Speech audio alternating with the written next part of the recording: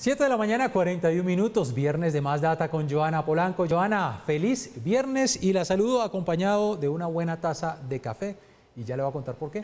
Buenos días, Joana. Así es, Jenner, un gusto saludarlos cerrando semana, saludar a los televidentes y hablando de una de las cosas que a usted y a mí más nos gusta, el café.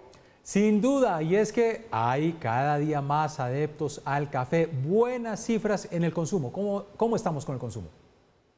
Pues mire, Jenner, para este año 2021 se espera que el consumo interno de café en Colombia haya aumentado a 2.8 kilogramos per cápita. Esto según nuevos cálculos a partir de un riguroso estudio que realizó la firma Reinova.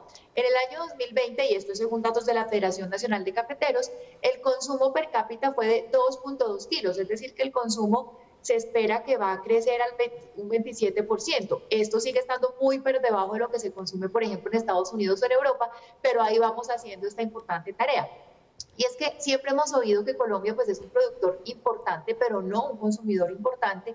Y eso ha estado muy asociado a la baja calidad del café que históricamente se había consumido en Colombia, porque el café de mejor calidad siempre se decía que se exportaba y que aquí consumíamos casi que la pasilla. Además, por ejemplo, en el 2020 se produjeron en Colombia un poco más de 14 millones de sacos, de los cuales se exportaron 12.7. Eso solamente deja 1.3 millones para el consumo interno, por lo que se ha hecho necesario importar un café para suplir esa demanda interna, que normalmente es un café más barato y de menor calidad. Pero mire, otro dato muy importante, Jenner, es que además de consumir más café, los colombianos también estamos empezando a hacerlo desde más temprana edad. Si comparamos el 2021 con el 2015 o incluso el 2012, el salto del consumo a más temprana edad es notorio y esto está evidenciando un cambio generacional. A uno de pequeño no le daban café Jenner que porque era malo para los niños. Ahora se ha conocido mucho acerca de los beneficios del café y eso está ayudando para este cambio generacional. Sí, uno se moría de ganas cuando veía a su familiar grande tomándose la tacita de café. Usted todavía no puede, tiene que crecer un poquito más. Bueno, estamos entonces haciendo bien la tarea en cuanto al consumo y además de buen café en nuestro país. Pero ¿qué tareas nos faltan? Pues mire, Jenner, aunque eh, digamos que aún hay mucho trabajo para hacer para mejorar el conocimiento del concepto de denominación de origen, ¿cierto? Ese sello de calidad que hace referencia a la indicación de procedencia de un producto con una calidad o características que se deben fundamentalmente pues a ese medio geográfico en el que se da. En este caso, café 100% de Colombia o incluso por regiones. En mi caso consumo eh, origen Huila, valga la cuña.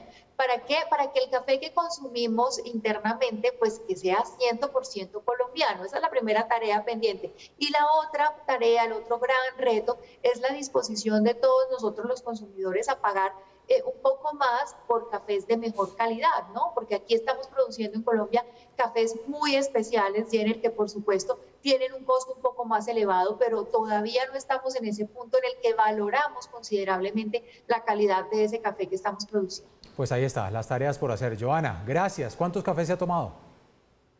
Ya voy por el segundo.